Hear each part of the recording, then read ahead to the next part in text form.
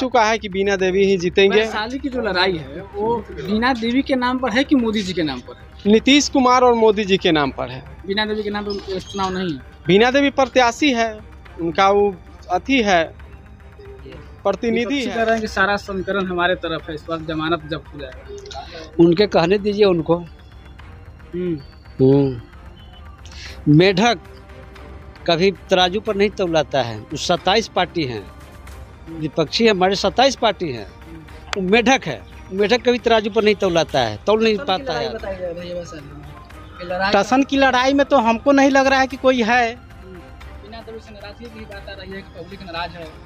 अब जिनको होगा उनको होगा। हमको तो ऐसा नहीं महसूस हुआ है। क्या होगा? एनडीए की सरकार बनेगी और क्या होगा? एनडीए के? जी।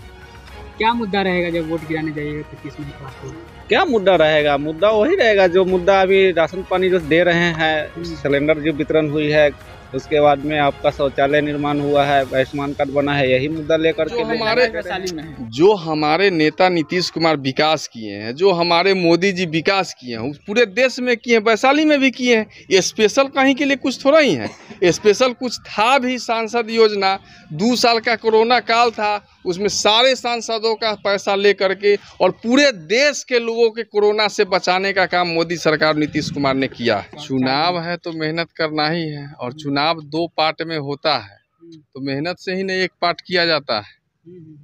और चुनाव हम लोग निश्चित रूप से जीत रहे हैं। और हमारा जो सरकार है, एनडीए गठबंधन की सरकार है, बिहार में नीतीश कुमार ने जो काम किया है और हम लोग नीतीश कुमार के सच्चे सिपाही हैं जहाँ नीतीश कुमार रहते हैं वहीं सरकार बनता है। ये तो तय है सर्वमान्य है। हमारे नेता हैं सर्वमान्य। किन मुद्दों पे वोट करेगी जनता? विकास के मुद्दों पे वोट करेगी। कि नीतीश कुमार और मोदी जी जिन लोगों के लिए काम किए जिनका विकास किए जन्म से लेके मृत्यु तक के बात सोचे सड़क है स्वास्थ्य है बिजली है तो जहाँ रहेंगे वहीं ना लोग वोट करेगा। वैशाली हो चाहे पूरा बिहार हो। हम लोग ये मानते हैं। पाँच साल में वैशाली के विकास को कैसे देखते हैं कि वैशाली में कितना डेवलपमेंट हो अरे जो हमारे- वैशाली में है। जो हमारे नेता नीतीश कुमार विकास किए हैं जो हमारे मोदी जी विकास किए हैं उस पूरे देश में किए हैं वैशाली में भी किए हैं। स्पेशल कहीं के लिए कुछ थोड़ा ही है। स्पेशल कुछ था भी सांसद योजना। दो साल का कोरोना काल था उसमें सारे सांसदों का पैसा ले करके और पूरे देश के लोगों के कोरोना से बचाने का काम मोदी सरकार नीतीश कुमार ने किया है। तो विकास तो हुआ ही अगर ज़िंदा है तो वो सांसद के पैसा से ज़िंदा है लोग। नहीं तो ये दवा सुइया फ्री अनाज अ, सारा व्यवस्था कहाँ से मिला? सारे सांसद के पैसा से मिला विधायक का पोस्ट से पैसा मिला। बिहार में चुनाव हो और जाति की बात न हो तो बड़ा अटपटा सा लगता है। बिल्कुल जाति की बात तो अगर- होती है। अगर इस बार की जो चुनाव है मोदी फैक्टर के साथ जातीय फैक्टर भी हावी है। इससे भी आप मोदी फैक्टर के साथ सब दिन जाति फैक्टर रहा है।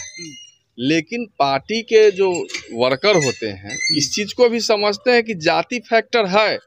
लेकिन अगर मुन्ना शुक्ला के वोट करने वाले लोग अगर सोच ले लालटेन के वोट करने वाले लोग सोच के बताए कि कौन प्रधानमंत्री बनेगा उसका नाम कोई बता सकता है क्या?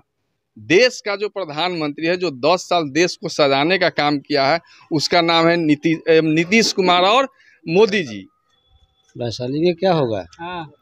बिना देवी जी बीना देवी हम्म। लालटेन छाप कहाँ जाएगा? लालटेन छाप को हम लोग नहीं वोट करते हैं।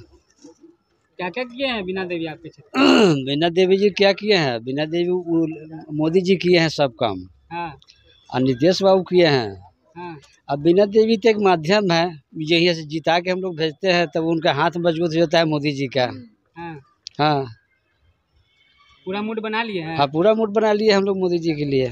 विपक्षी कह रहे हैं कि सारा समीकरण हमारे तरफ़ है इस बार जमानत जब्त हो जाएगा। उनके कहने दीजिए उनको। हम्म। हम्म। मेढक कभी तराजू पर नहीं तौलाता है वो सत्ताईस पार्टी हैं। विपक्षी हमारे सत्ताईस पार्टी हैं। हम्म। वो मेढक है मेढक कभी तराजू पर नहीं तौलाता है तौल नहीं पाता है आदमी उसको। उसको उसके पीछे पीछे हम लोग कहाँ रहेंगे? हम्म। हमारी सरकार एक एक साथे रहेंगे इनके साथ मोदी जी के साथ। क्या नाम हो गया? मेरा नाम हुआ जगन्नाथ ठाकुर। एजुकेटेड लग रहे हैं कि किन मुद्दों पे वोट कीजिएगा पच्चीस मई को। विकास के मुद्दा पर भी वोट हो रहा है। हम्म। हमारे बिहार में जो नीतीश कुमार इतना विकास कर दिए बिजली पानी हम्म। School high school middle school पढ़ाई लिखाई का इतना विकास हुआ जिसके कारण बिहार के लोग जहाँ नीतीश कुमार रहेंगे एनडीए के साथ हैं तो एनडीए का सरकार बनेगा, एनडीए के साथ है। वोटर भी उनको देख करके उन्हीं को वोट देगा, वो जहाँ रहेंगे। उसके बाद लगातार लोगों को मुफ़्त में अनाज खिलाया जा रहा है। स्कूल में छात्रवृत्ति मिलता है, बीए वाले को छात्रवृत्ति मिल रहा है। ये सारा मुद्दा है जिसके कारण लोग एनडीए को ही वोट देगा। और वैशाली में निश्चित हो चुका है कि बीना देवी ही जीतेंगे। वैशाली की जो लड़ाई है वो बीना देवी के नाम पर है कि मोदी जी के नाम पर है? नीतीश कुमार और मोदी जी के नाम पर है। बीना देवी के नाम पर चुनाव नहीं है? बीना देवी प्रत्याशी है उनका वो अथी है प्रतिनिधि है। तो पाँच साल के विकास उनके विकास पर वोट मिलेगा या फिर फिर से मोदी जी के नाम पर वोट मिलेगा? अरे उनका विकास हुआ तो। हम्म, वो किए तो चाहे मोदी जी किए तो चाहे नीतीश कुमार किए तो। हम्म, विकास तो हुआ अकेला बीना देवी सरकार तो नहीं है वो तो सरकार के अंदर में है।